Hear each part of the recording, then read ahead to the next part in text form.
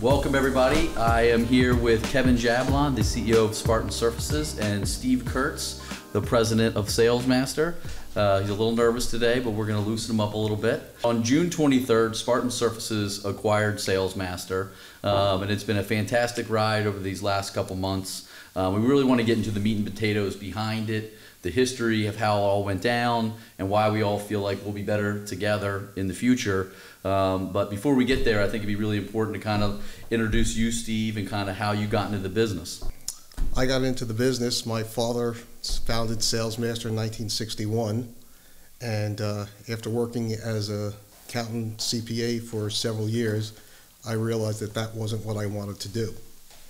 And I spoke to my father about what my next steps were in the future, and his words to me were, "I don't know exactly what this business can do, but you'll be in charge of your own destiny if you're in business by yourself."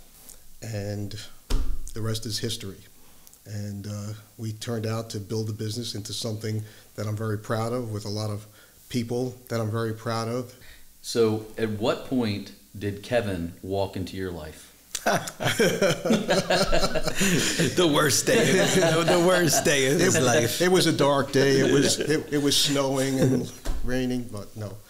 Actually, Kevin walked into our into our lives. We we were a Roppe distributor in 1984, and I want to say early in the 2000s. 2004. 2004. Kevin um, was the North Jersey rep for Roppe, and that's how we met Kevin. And as usual, when you meet Kevin, you fall in love with Kevin. And a lot of people don't. no, that's 90 10. that's not true. That's not true. He uh, he had an amazing energy, an amazing outlook on life, and loved business. Couldn't wait to get up in the morning and, and sell and make things happen. And the relationship just continued to grow. And even when he left Roppe, we kept in contact. There was a brief period of silence. Steve then, was scared to talk to me. yeah, yeah, that, absolutely true. And then we reconnected, and from that point on, we always saw the idea that our business was servicing the contractor with logistics, build it and they will come.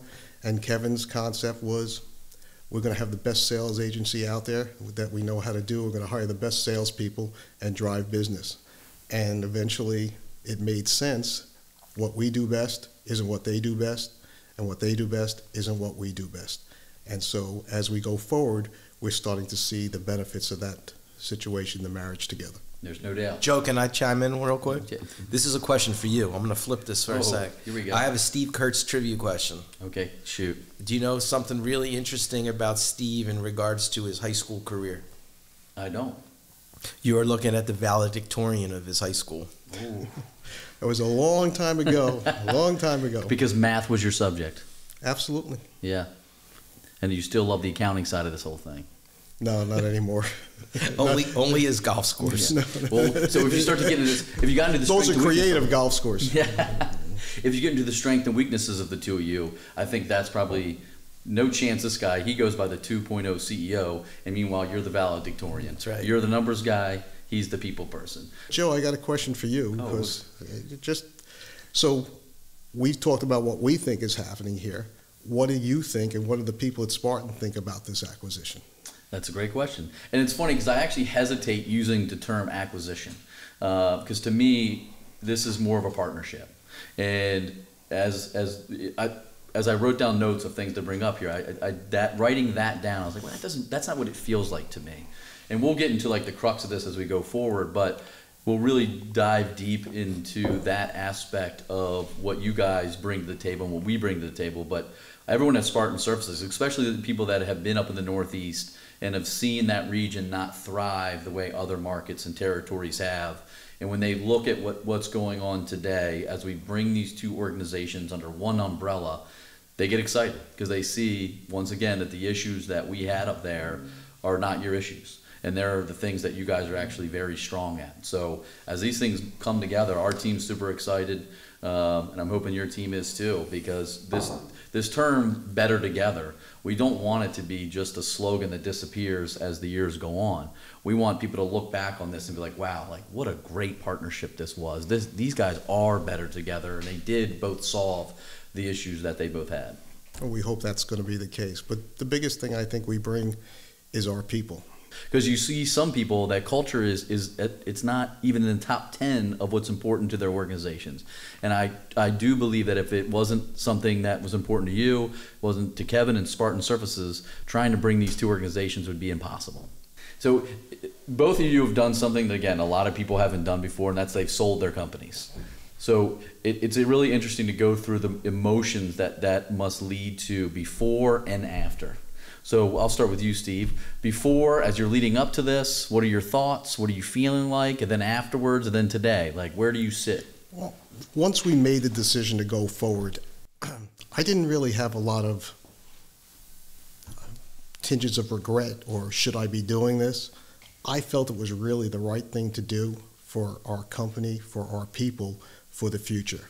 I really felt that the best opportunity for everybody was to put these companies together um, and under the leadership of Spartan. I really believe that that's going to help us grow. And the people that work for Salesmaster, I think, have now really seen the opportunities that they're going to have moving forward, both on the sales side, the inside, everywhere, because the opportunities are boundless. And one of the things about Spartan is they believe in talent. And if there's talent there, they're going to make very good use of it. And that's what, so I didn't really have any regrets. I wasn't, you know, no seller's remorse or anything like that. Once the decision to go forward was there, I knew it was the right decision and that we wanted to make this happen. And of course, being Kevin, I was very comfortable with it. Yeah, the crux from both of you guys though is is the the caring that you had for your employees and how would it affect their lives and what their reactions would be, whether they would think you're a sellout, or you know where you going where you put in, the right hands of the new team at Spartan Surfaces. So there's there's always there's been similarities as we've gone through these questions that you guys are very much aligned with.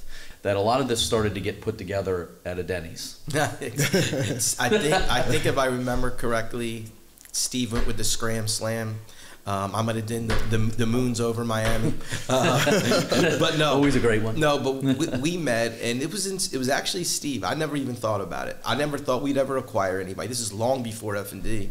This is 10, 12 years ago, and when Steve first brought it up and was like, "If I ever sell the business, would you be interested? And is it something that maybe we could look at?" And he had a vision. I didn't even I couldn't even see that.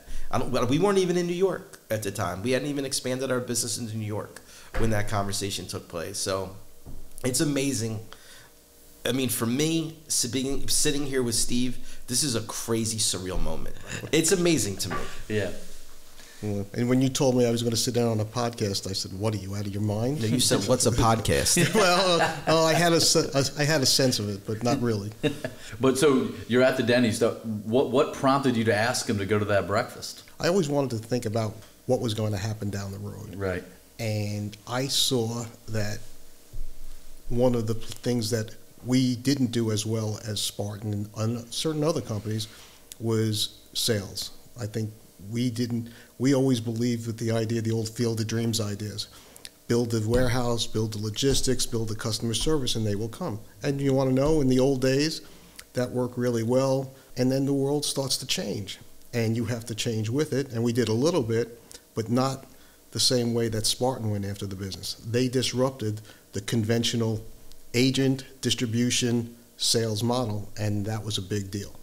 So you guys have this breakfast. At this point, we're not even we're not even in New York.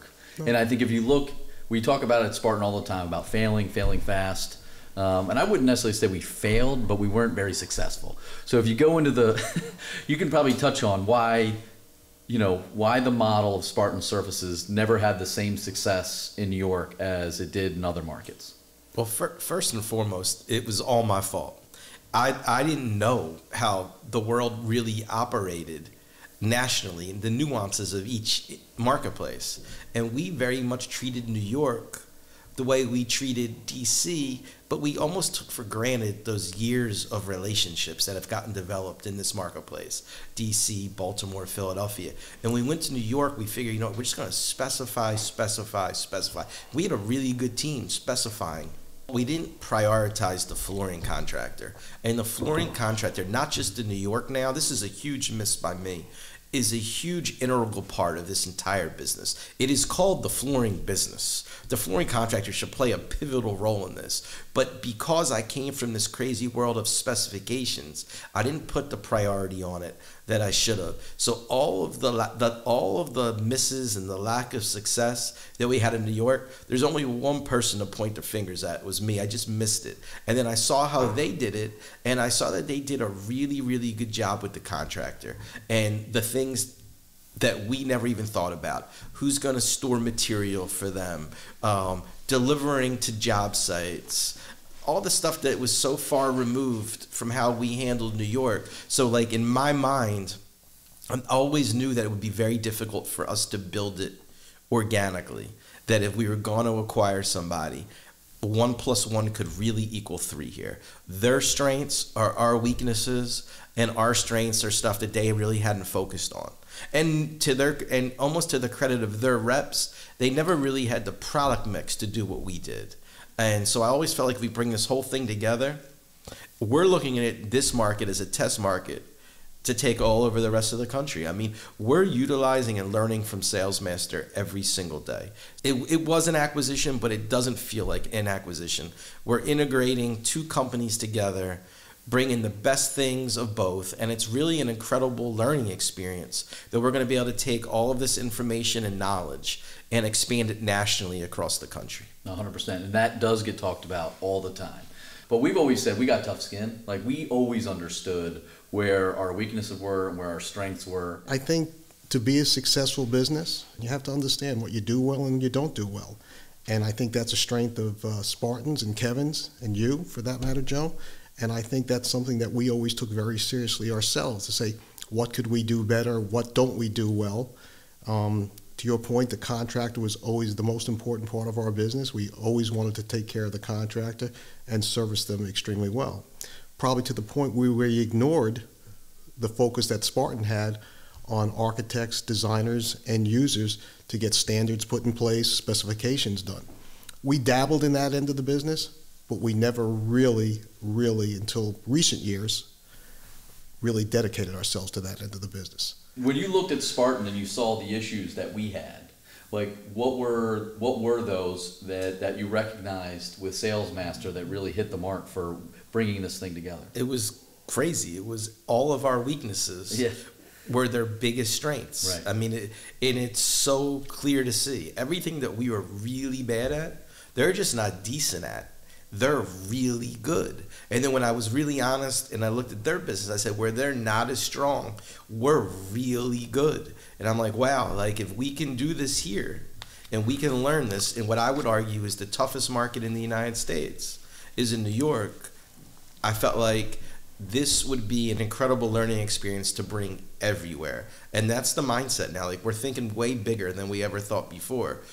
You can see the theme here. And if when you when you start getting into the better together scenario that that we believe the strengths and weaknesses together is really what's going to be the most powerful uh, component to this entire thing.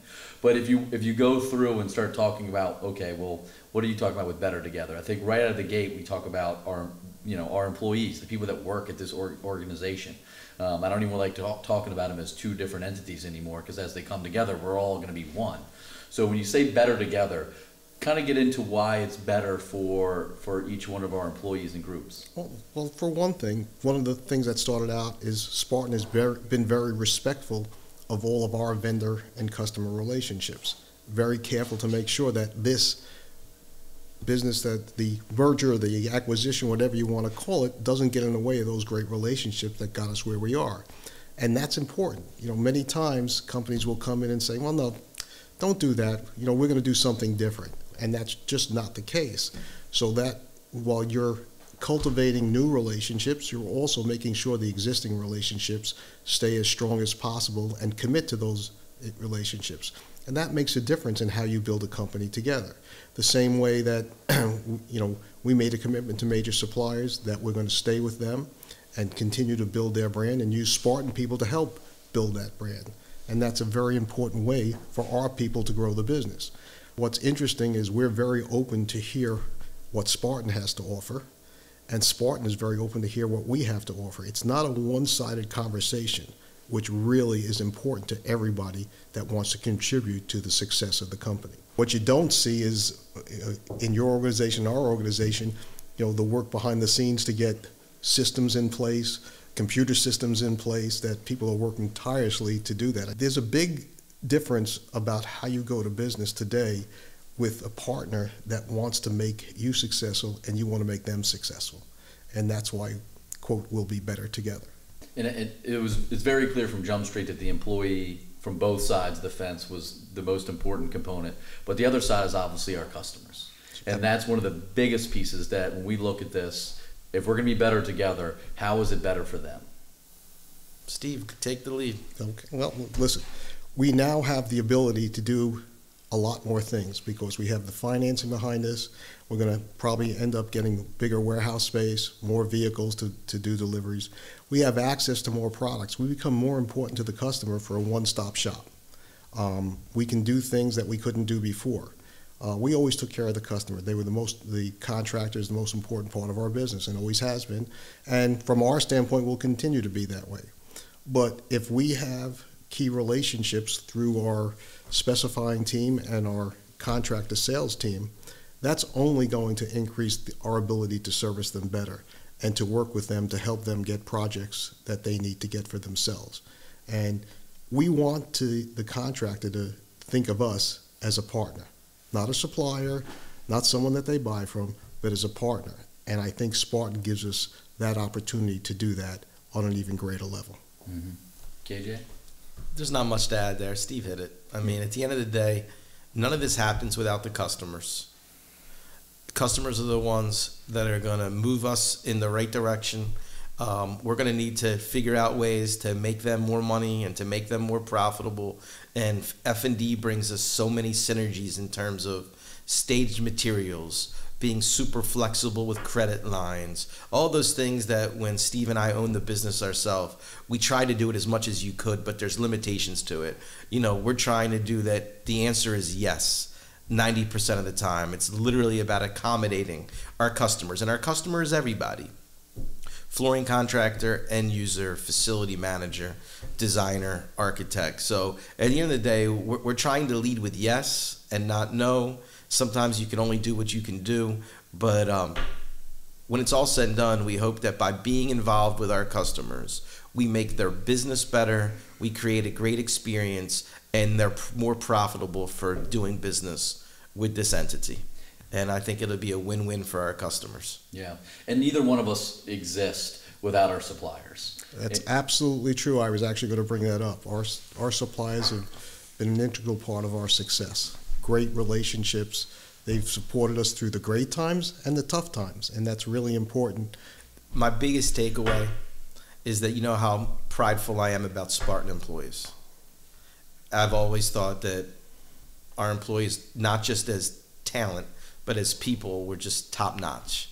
And the more we got into Salesmaster, the more I realized it's extremely similar. So, like, I, for to the Salesmaster employees, not just your work ethic, not just your core values and your integrity, but your talent. There's so many talented people there. Not that we didn't think it, but once you get into it and you really see it. So to the Salesmasters and to the Salesmaster employees who are really now just part of the big Spartan family, we can't thank you enough for coming into this with an open mind.